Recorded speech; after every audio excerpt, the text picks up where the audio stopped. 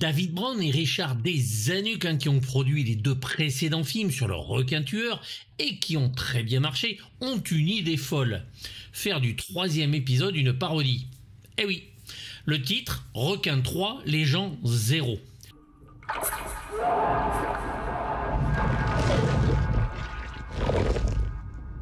John Hughes, oui oui, le gars de Breakfast Club et La Folle Journée de Ferris Bueller et Todd Carroll, qui ont tous les deux bossé sur American College, sont engagés et l'on pense à Joe Dante pour la réalisation et Bo Derek en star.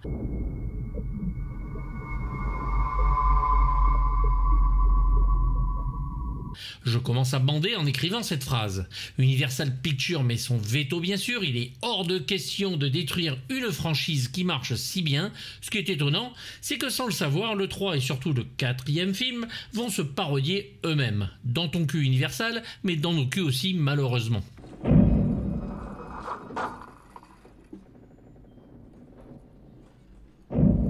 Troisième épisode de la saga, donc, hein, qui va être réalisé cette fois par Joe Alves, chef décorateur et réalisateur de la seconde équipe des deux précédents films, avec un budget de 18 millions de dollars.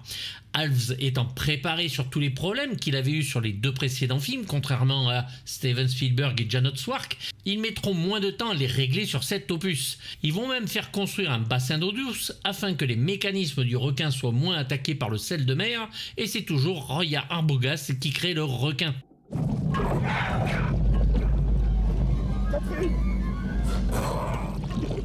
Le bassin d'eau douce leur permettra d'ailleurs de diviser le temps par deux pour le tournage. Le mécanisme du requin est lui-même bien mieux articulé, même si ça ne se voit pas que le bruit du premier et celui du second. Sa mâchoire par exemple, hein, il la projette comme un vrai requin, ce que ne faisaient pas les autres, et les yeux roulent et deviennent blancs comme un requin classique. Regardez Malheureusement, les vrais plans de requin pour ce qui est du bébé requin et ceux de la mer sont tellement différents et sont surtout très notables. Donc euh, bon, des stock shots de requins et un requin en maquette, ça fait toujours tâche.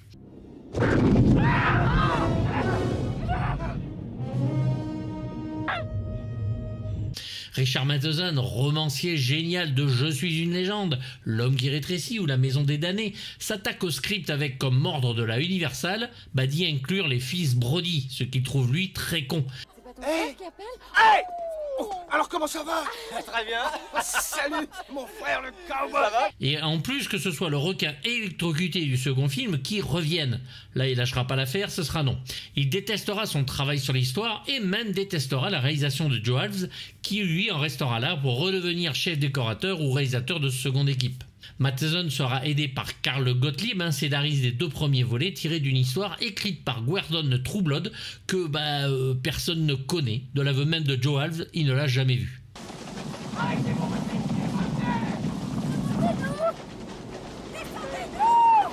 Le tournage aura lieu au SeaWorld Orlando ainsi qu'à Navarre en Floride. Hein. C'est l'époque des films en trois dimensions, comme le Vendredi 13-3, rebaptisé justement Meurtre en trois dimensions, ou le Amityville 3D. Aucun ne cartonnera vraiment au box-office, mais c'est à la mode, donc pourquoi pas notre requin en relief.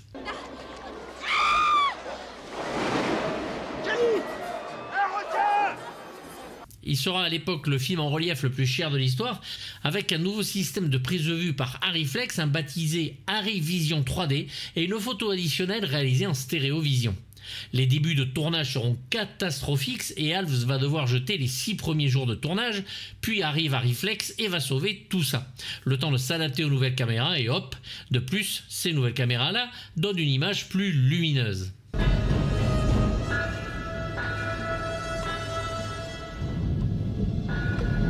Joe Alves est par contre sincère dans son approche, hors de question, à un ou deux plans pré exigés par le studio, de faire des effets 3D faciles pour rien.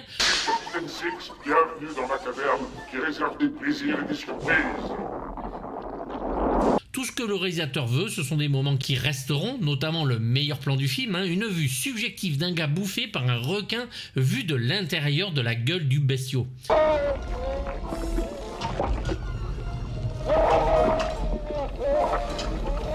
Grand moment de quelques secondes seulement. Hals est d'abord un chef décorateur hein, qui a officié sur le Rencontre du troisième type de Steven Spielberg ou le New York 1997 de John Carpenter et étant directeur hein, de la seconde équipe sur les deux premiers films, Universal pense qu'il est le plus habilité à réaliser ce film-là. Rien n'est moins sûr. Le timing est en plus très serré pour pouvoir sortir en juillet et Hals va devoir accélérer le montage.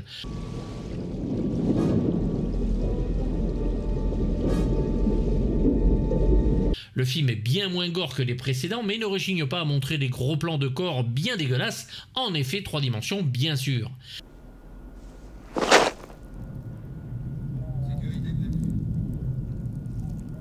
Alves est convaincu que la 3D sera l'avenir du cinéma, ce qui ne sera pas le cas, même dernièrement il aurait été prouvé que ce n'est qu'un gadget, hein, sauf bien sûr quand il est utilisé par James Cameron. La photographie est ici de Chris J. Condon et James A. Contner, hein, souvent flou, 3D oblige, malgré certains plans magnifiques, mais un grain très visible sur certains plans.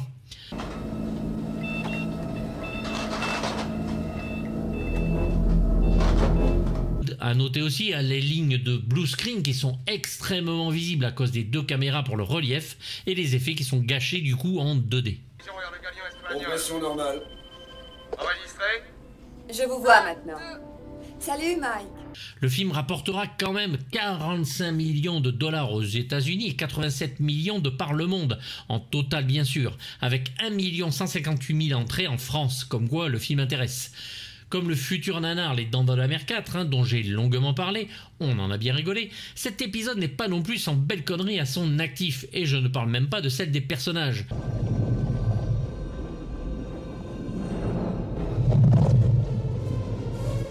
Le requin rugit la Z-voix sous les flots, hein, au moins dans le cadre c'était hors de l'eau, chose complètement bien sûr impossible. La traque de la maman requin pour venger son fils décédé dans le parc est comme dans le quatrième opus aussi impossible puisqu'un requin n'est pas censé se venger, en tout cas scientifiquement ça n'a pas été prouvé. C'est sa mère qui l'a tué. Comment ça, c'est sa mère qui l'a tué? Calvin, vous écoutez ce qu'elle vous dit eh bien... Les marches arrière du requin dans le tuyau de filtrage sont aussi bah, physiquement impossibles, et pour notre plus grand bonheur, il y en a deux.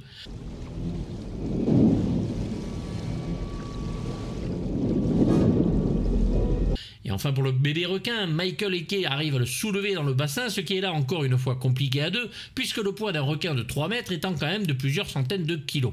Ah, Vas-y,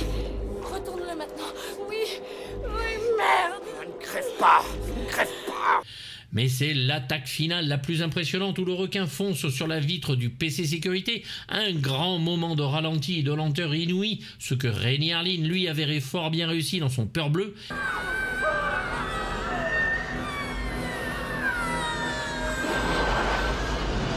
et qui là se termine par un effet d'explosion des, euh, bah, plutôt disons, hashtag gênance, sans parler du plan final des deux dauphins qui sautent en parallèle.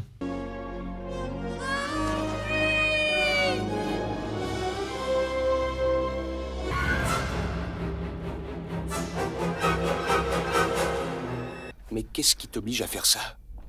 Pourquoi ne laisses-tu pas l'envoyé de sa majesté s'en occuper seul? Roy Scheider est de suite demandé hein, pour reprendre son rôle du chef Brody. Il va déclarer que même Mephistopheles n'aurait pu le convaincre. Il va accepter Tonnerre de feu de John Badham pour être sûr d'être indisponible pour le tournage. On va donc par obligation du studio remplacer le shérif par ses deux fils, dont le héros est incarné par Dennis Quaid dans le rôle de Mike, que Lance West jouera dans le suivant, le quatrième opus, qui s'occupe du parc, la construit et qui le gère en partie. Sa romance dans le film est plutôt sans intérêt, mais il fait le travail pour le reste. À noter bien sûr ce grand élan d'amour et d'annonce de vivre ensemble, alors qu'ils sont en pleine catastrophe, que le requin attaque de partout et que des gens sont coincés dans les tunnels. Dis-moi, tu es sérieuse? Oui, je crois que c'est à moi de me décider. Mais dans un an, Je je, ne suivrai sais toujours, n'importe où C'est ici son premier grand rôle et- enchaînera sur L'étoffe des héros de Philippe Kaufman, Dreamscape et le ennemi dont j'ai parlé récemment. L'histoire des deux premiers requins est complètement évincée en une seule phrase. Horreur de l'eau Quoi? Oui Je t'ai raconté, tu te rappelles l'attaque du requin quand nous étions gosses à Amity Tu te rappelles l'attaque du requin et hop, rien de grave. C'est le grand par contre Patrick Poivet qui officie sur sa voix ici. Écarte-toi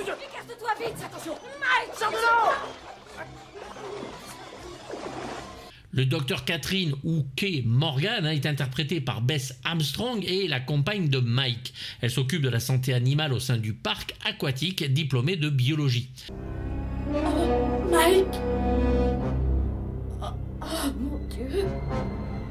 La même année, on la découvre dans Les Aventuriers du bout du monde hein, de Brian J. Hutton aux côtés de Tom Selleck, notre magnum favori.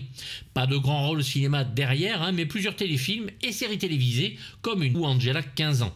Elle est doublée ici par Joël Fossier. Croyez-moi, je sais combiner les affaires et les plaisirs. Ce qui, à ce qu'on m'a dit, assure une vie longue, agréable et charmante. Philippe Fitzroy est un spécialiste des fonds sous-marins et des requins et autres animaux. Il les chasse et fait des reportages photos. C'est le grand Simon McCorkindale qui le joue ici, toujours charismatique, et qui finira malheureusement dans le ventre de la bête, que l'on verra en vue subjective donc.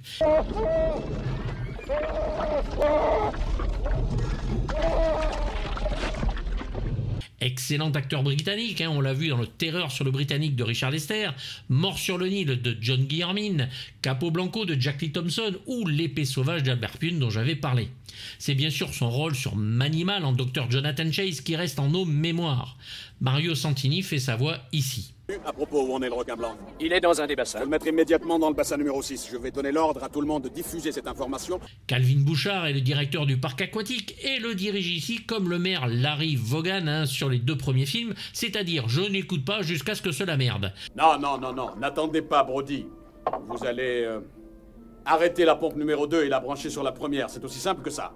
L'homme est connu pour ses nombreux rôles, hein, comme j'en ai parlé sur la vidéo d'Enemy Mine, dont un Oscar pour Officier Gentleman de Taylor Hackford. C'est par lui, comme d'habitude, que toutes les merdes arrivent. Hein, dès qu'il y a une décision à prendre, ben, il prend la mauvaise et le requin se libère à chaque fois. C'est Med Hondo, voix bien connue des fans, qui officie sur sa voix.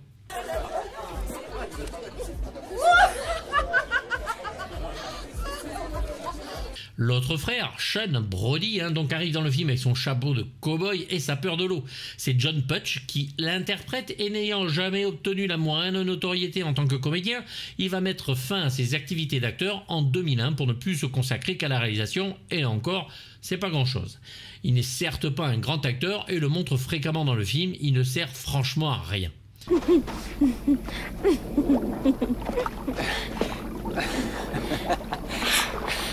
Se fait lui par contre emballer par la belle Kelly Ann Bukowski, jouée par notre Léa Thompson que l'on adore en Lauren McFly dans Les Retours vers le futur, hein, et dont la filmo n'est pas à rougir, avec des films comme L'Aube rouge de John Milius et Howard, une nouvelle race de héros de Willard Duke, et bien sûr La vie à l'envers d'Howard Dutch.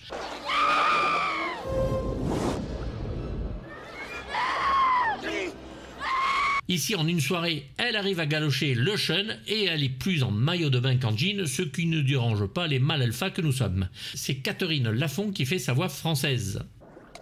Je préférerais que vous ne fassiez qu'une seule chose. Qu'est-ce qui te prend? Est-ce que t'as la frousse? L'assistant hein, de Fitzroy, Jack Tate, est joué par le charismatique P.H. Moriarty, dont la voix française est de Robert Basile. Tate a été vu en tueur à gage dans le Outland de Peter Yams. Rappelez-vous, les deux tueurs à gages qui arrivent à monter leurs armes devant trois caméras. Garde au tribunal dans le jeu de guerre de Philip Noyce. Harry Lage dans Arnaque, Crime et Botanique de Guy Ou le Gurney Alec dans les mini-séries Dune et les enfants de Dune. Il est ici très bon et loyal envers Fitzroy et c'est un des rôles les plus intéressants malgré le peu d'apparition à l'écran.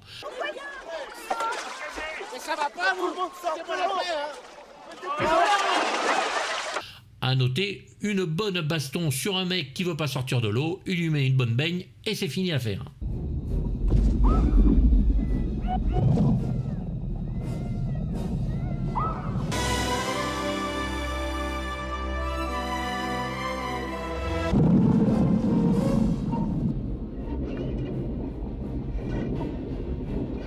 Succéder à John Williams, hein, qui a écrit deux grandes partitions pour les deux premiers volets, c'est chose difficile, voire pas évidente du tout.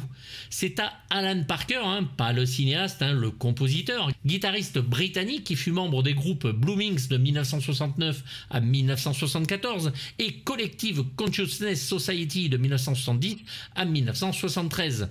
Il a travaillé quand même comme musicien de studio avec David Bowie, Elton John et même Serge Gainsbourg. Il est également l'auteur de nombreuses bandes originales pour le cinéma et à la télévision on le connaît sur la série Mission Cascou.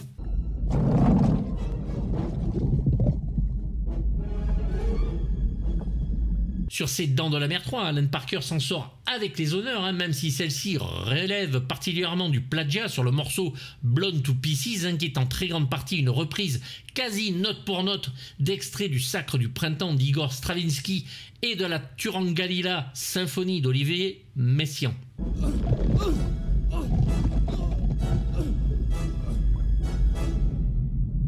Comme très bonne idée de départ, il ne va pas reprendre le thème de John Williams à l'état brut, mais va s'en démarquer pour nous donner une mélodie dont le thème nous est familier tout en étant original. Bien sûr, le studio impose hein, le vrai thème, mais est développé de la meilleure des manières. Parker va donc tout en conservant l'esprit du compositeur d'origine, écrire une partition vraiment étonnante avec un thème très personnel et ce, dès le main title. Les cordes soulignent bien la menace avec son rythme soutenu et certains morceaux mélangent donc habilement ce que l'on connaît et ce qu'il a créé.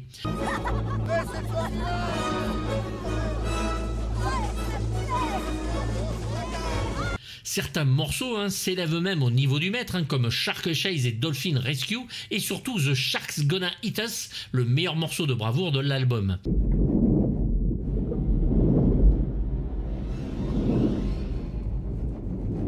Un vinyle sort à l'époque et l'intégrale sortira chez Intrada en double CD, avec l'intégrale des trois autres volets aussi. Dirigé par l'auteur lui-même, hein, ce Jaws 3D est une excellente surprise pour les mélomanes et mérite absolument la découverte.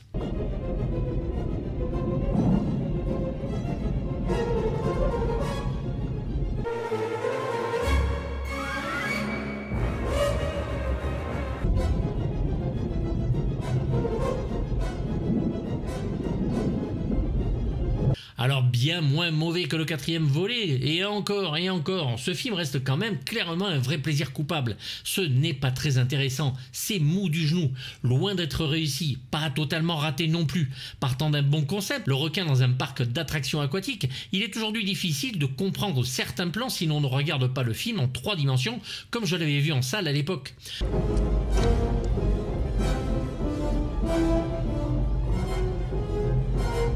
En effet, les effets 3D sans lunettes sont des plans qui restent apparemment inutilement longs à l'écran, alors qu'en 3D, c'est là pour justement amuser le spectateur. À noter le Blu-ray hein, qui possède la version 3D, mais avec les anciennes lunettes, oui, celle qui bousille les yeux et qui fait mal à la tête. Vous avez le lien dans la description, cela peut en rebuter certains, mais bon, si vous voulez vous faire plaisir, je crois qu'il n'est pas cher.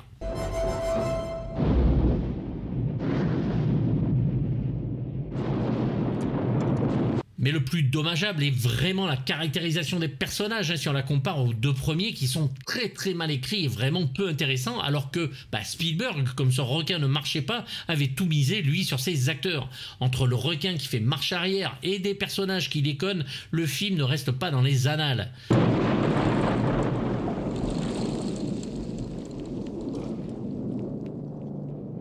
D'autant plus que de nombreux dialogues, parfois drôles ou des scènes plus spectaculaires, ont été enlevés. Bref, un film qu'il fallait voir à l'époque en 3D, mais qui en 2D est peu palpitant, d'autant que pour parler des enfants du chef Brody des deux premiers films, c'est complètement raté, rien ne les relie à ces deux films en tant que spectateur, on ne se connecte pas à ces moments du 1 et du 2, alors que même le 4 avait au moins essayé ça.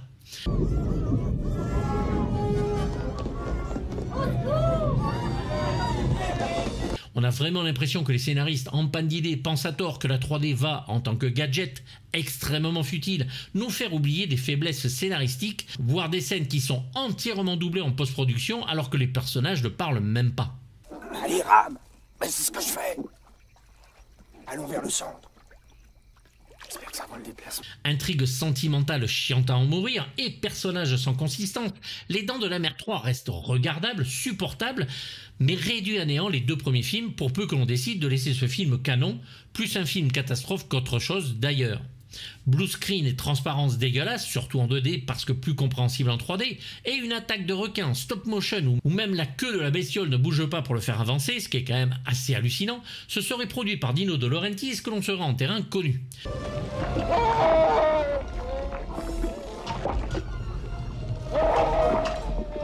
Universal a complètement déconné et Joe Alves aussi. Reste un plan, une scène, drôle et tragique à la fois, où l'on décide de nous montrer donc l'intérieur de la gueule du bestiau alors qu'il mange un humain, soit moins de 20 secondes à l'écran de bonheur et d'imagination. Le requin avance avec une lenteur impressionnant quand il est vu en entier et très rapide quand il poursuit un bateau qui suit les skieuses. Enfin, quand on voit que l'aileron. Faudrait savoir. Se dire que c'est Richard Matheson au scénario, pas seul certes, oui, mais c'est quand même l'homme derrière Je suis une légende et certains des meilleurs épisodes de la série La quatrième dimension et le duel de Steven Spielberg, ça fait mal au cul quand même. Il devait avoir besoin de pognon, le bonhomme.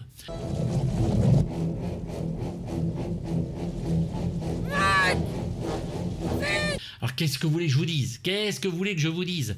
Moi j'adore le 1, c'est un chef-d'œuvre. J'aime bien le 2 qui est très efficace. Le 4 m'amuse parce qu'il est complètement euh, n'importe nawak. Mais le 3, franchement, est pas bon. Il est pas bon.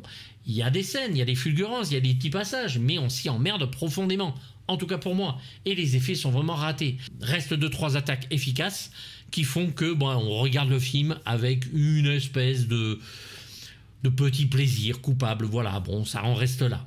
Moi, je lui mets la note de 3 sur 6. Ça vaut pas plus, certes. Ça vaudrait moins, sûrement. Mais si je mets moins, vous allez, m'engueuler, je vous connais. Donc voilà, bah écoutez, 3 sur 6.